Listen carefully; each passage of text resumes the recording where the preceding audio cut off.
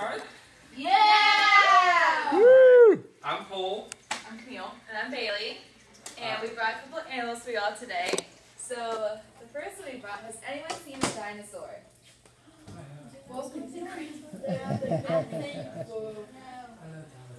Chris, how many dinosaurs? A long time. Yeah, We're but, done. but, when oh. I was in the mountain. Wow, we have a relative of a dinosaur today. Whoa! The chicken! That's right. That's right. So does anybody want to touch the chicken? What? Only one person. Landon, you wanna touch it? Come on.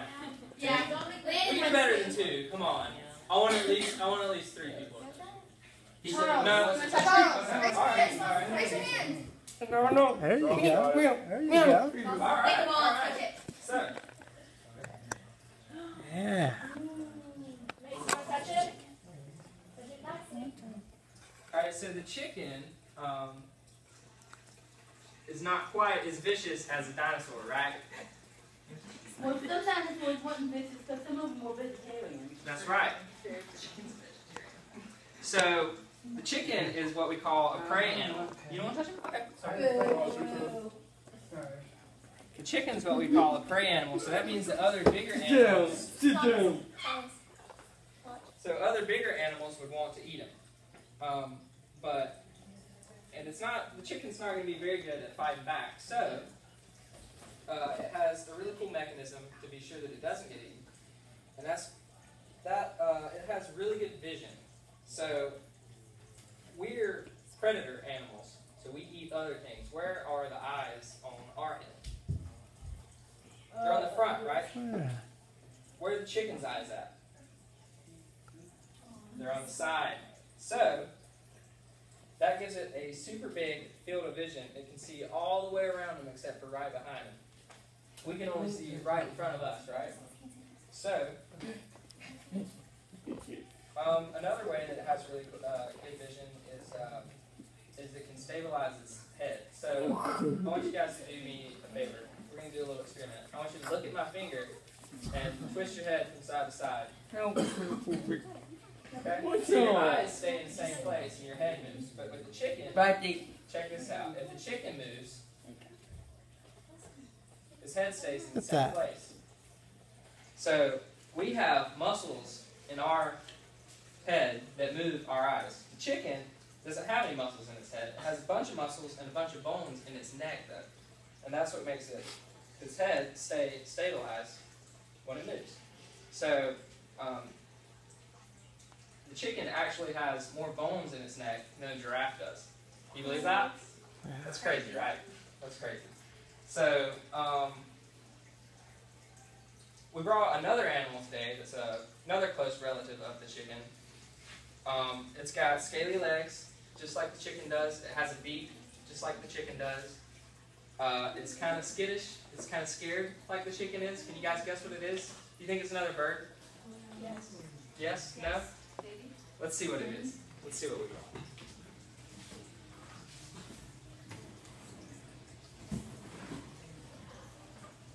So, this is Miles. He's an eastern box turtle. Wait, the wet pal. You guys see him? Yeah. Mm-hmm. Wait, is there something else in there? Wait, Will, there's something else. Uh-uh. Mm-mm. Here's an actual eastern box turtle. This, we tried. It's okay. well, this is Scooter. He's an eastern box turtle. Does anyone want to touch Scooter? Okay. So when you touch Scooter, you have to touch with two fingers, okay? Y'all want to touch Scooter? No? You want to touch Scooter? You want to touch him? Yeah. Yeah, that's awesome. So, you want to touch him? Good job. You want to touch him? Awesome. Want to touch him? Help. I'll help you. I'll help you. Hey, Miss Bailey, Cool. we- we're going to help this guy touch Okay. Scooter right here, too. He just needs some help. Ooh. Yeah, look at this. Look at this. There you go. Oh, Awesome. yeah. You want to touch him? Nice job. Ooh. You want to touch him? Yeah. You want to touch him? Awesome. You did a good job. Yes.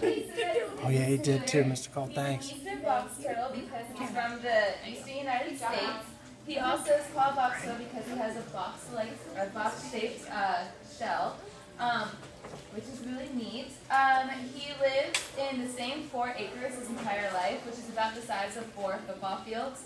Um, he also, um, he they lived about 80 years old, and Scooter's only about nine years old, and you can tell how old he is based on the little scutes on his shell. That's also why he's called Scooter. Um, you can count the rings on each one, and so he has nine on each, which is really cool.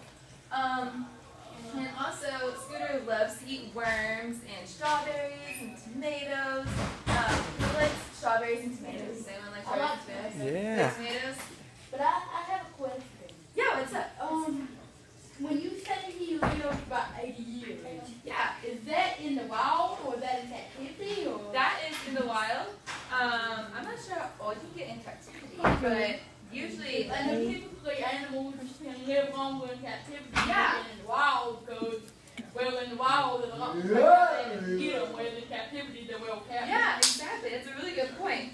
But um, but yeah. So well, he has those things, and also um, so just like a chicken, he has scales on his legs. Um, he lays eggs.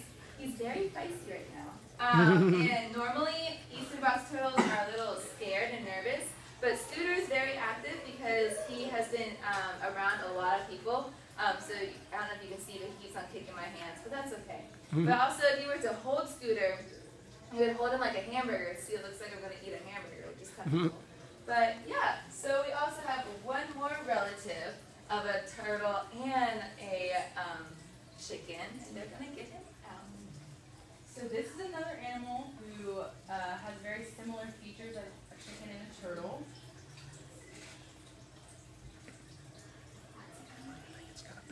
Any guesses? It's escaped. Oh man. She's a western Whoa. snake. Uh, she gets her name from her distinct nose. Because anyone, this might be hard to see, but her nose looks like a pig.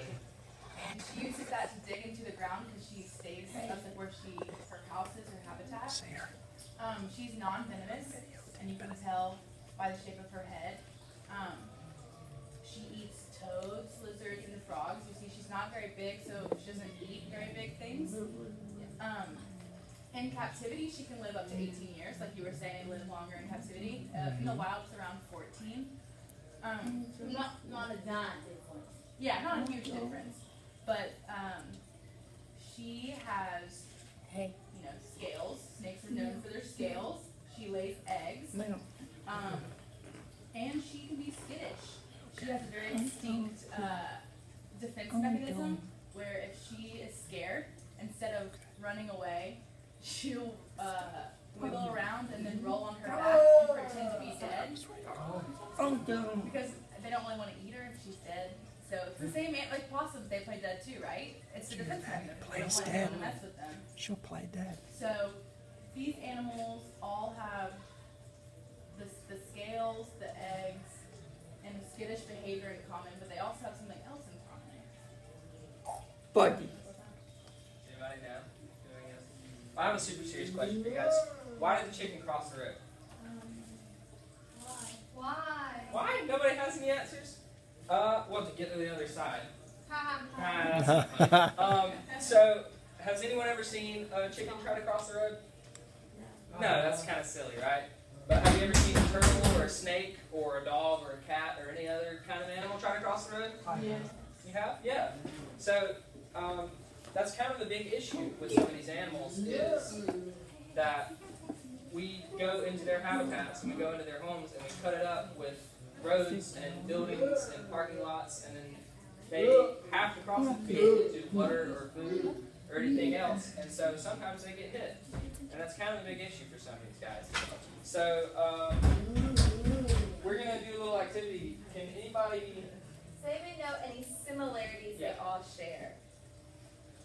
Like, what did he say that they all have? Tails and lay eggs. Good. Well, not all of them have legs. Almost all of them No, have lay legs. eggs. Oh, they lay eggs. Yeah. Oh, sorry. Yeah, well, that's Good. They do have Excellent. scales and eggs. Excellent. What are some differences? Well, Sandy doesn't have any legs. Exactly. There we go. Here's Swift. Um, what does Scooter have? Like a veil, like a Shell? like an outer cover. Yeah, that's used for his protection. And um, what does what can the chicken do? Yes. Well, provided that you don't clip the wings, which some people do. Yeah, Well, that's That's it. Wow. clip the wings because otherwise damn they it. will fly away. And some folks have them not only to eat, but some folks also raise chickens for the eggs. Huh. So like, I know my uncle Danny, he has a few, uh, he has a few eggs. Uh huh. selling stores. And he even them clip the wings if we don't do that, then well, he might end up losing the chicken to something besides dog. That's right. Is there, uh, what's the, what did we Excellent. say, what did we just say was another big issue with all three of these guys? Chicken here. Getting hit. Around. So, uh, a little bit broader is habitat fragmentation. So, um, can anyone tell me what habitat fragmentation is? I couldn't say. Go for it. Um, like when you split up the habitat fragment because you are putting human things in Yeah. waste. Exactly. Right, so we're going into their homes, we're cutting it out from all of our stuff. So, Good job.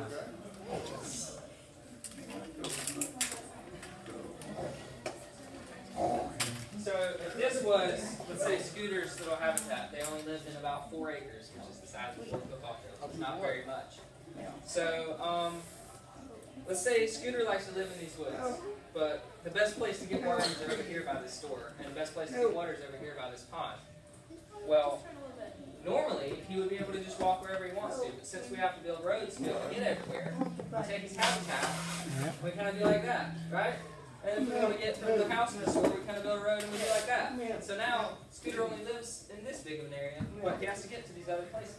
So then he has to cross the road, and he you know, goes into danger when he does that. So, um, what we're going to do is we're going to show you guys how you can help people or things like Scooter, turtles like Scooter. So, um, if Scooter is about to cross the road, look both ways. He's really safe. Um, if he's facing this way and he's in the middle of the road, uh, what what direction do you think he's going? What side of the road does he want to be on? That side. That's right. So if he picks up, if we were to pick up Scooter like a hamburger like this, um, and we went and put him right here, what's he gonna do? He's gonna keep crawling and try to get that side of the road because that's the way he wants to go. So if we pick him up and we move him over here, then boom, Scooter's out of the road and he um, he's where he wants to be. So. Uh,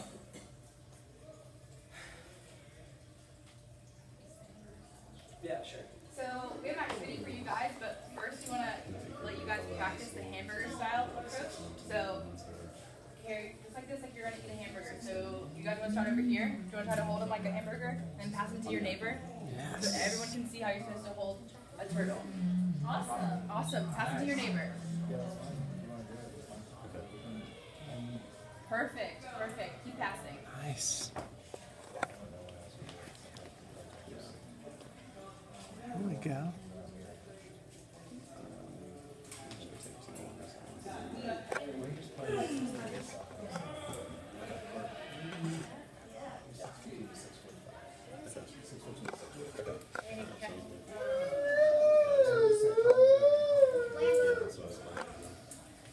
You're so excited. Not that I plan on picking up too many turtles.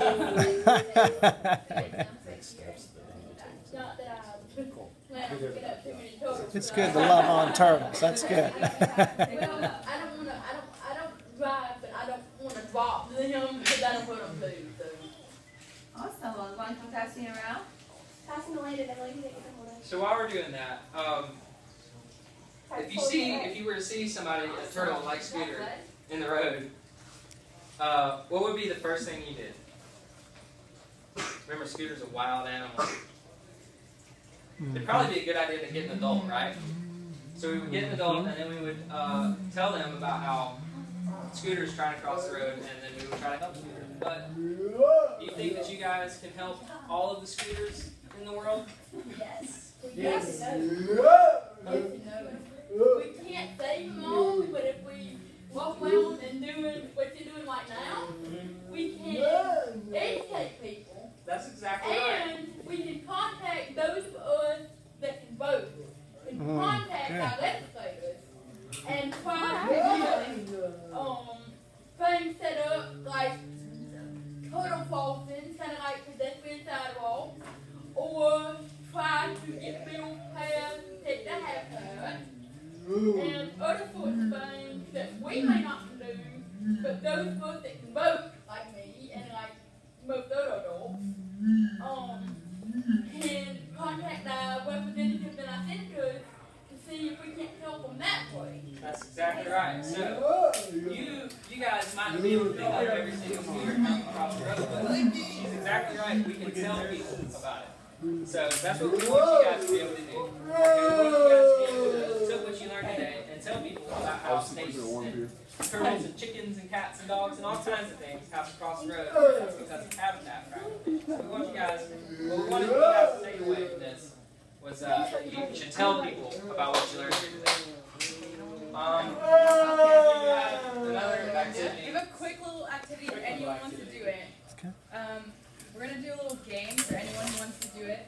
We're gonna create a little obstacle course, Sit down here. and you're gonna directly hold the, this is good scooter, but the, the sub scooter.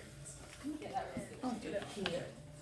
And put them on the correct side of the road. Does Here we anyone wanna go. do this? Oh, let's try it. Well, Yeah, let's try it out. Here we go. Stand up for the scooter. Can you pick up Scooter like we showed you how? Right here. Right here. Stand up, Landon. Landon, stand up. Can you hold it like a hammer? no. Hold like a hammer. No, he's up Scooter, oh no, he retreated into his shell and he scurried away and now, now we don't know where he's gonna go, Try alright? again. How did we, Remember how the first thing we said though? yeah, remember when we passed him around, how did you pick him up? Remember like a hamburger, okay? Hold over here, bud. And hold like this. There we Yes. go. Yeah, yeah. You say, I'm gonna get an adult. I need an adult. Adult. Yeah. We need an adult. Yeah, yeah. So do you want to try to weave through here with him and put him on the correct side of the road? Yeah. Yes. He wasn't Nice, alright. Say what else want to try? Chris, why don't you try? Romy can try. Romy, you want to try? There we go. Yes, please try. Chris, go try. Or Charles. It's a stuffed turtle. Go try it. Chris, you're in college. You can try this. You guys want to see Bailey do it? Yeah. And yeah. There we go. Bailey. Come on, Bailey. Bailey. So I'm, I'm driving because I can drive, and then I, but I'm also driving my mom. And so, oh no, we see a turtle. Okay, I'm gonna tell my mom, hey mom, I gotta go get this turtle. Like, come on, and make sure it's safe. So I'm gonna pick him up. I'm gonna look both ways, make sure it's safe. Gonna Cross over here, but keep him low to the ground in case he falls, so it's not too hard. Over here and Good, good. Yay! Woo! So we want to leave you guys with uh, something to remember. We hope that you break out of your shell and you help wildlife cross the road and be vigilant And And contact your legislators. and contact your contact your legislators. legislators. Just tell, tell anybody, not even just legislators. Just tell your friends, tell your mom, tell your dad, tell whoever. Don't, don't, don't get no, You're gonna walk, you're gonna walk this way. What all you say? The more people you the more people might contact you. Everybody say thank you. Thank you. Um, if anyone at all wants to touch the snake, I will be over here and we can touch the snake. Yeah. Yeah, come right up to Andrew Camille and touch. It'd be great, great idea. We'll be right up here. Introduce your friends and great big hip hip. Hooray! Nice job, guys. This was such a great group. I hope you enjoy this. These guys did a great job. You know, these folks, oh my gosh. Ranger Bailey, Ranger Cole, Ranger Camille did a wonderful job. Yeah. This is wonderful. I love these animals. Here we go. Look at this. Oh, nice job. That's great. You're doing a great job. Nice job. I just about took over y'all's Hey, you're better, you honestly were better teachers than we were. If anyone else want to touch, it, Romy, you want to touch touch? You want to touch it? Try touching it. Yeah. There we go. Yeah. Here we go. Okay. We gotta get our we gotta get our two fingers ready to touch. We gotta have our two fingers and we'll just touch. There you go. We'll hold you. No, no, don't hold. It's a lot softer than you think. Yeah. Look at this. You guys are so brave. Everybody's getting right in there. Man. Is it slimy? No, just dry and soft. Very nice. Nice job. Nice job. Yeah, she's doing great. She's doing great. All right. Where you going? The, the woman. All right. Nice job, Ranger Camille. Nice job. No for snakes, huh? No for that's okay. That's okay. that's okay. Hey, you touch the turtle. That's that's good. That's good. All right. Okay, everybody. Nice job.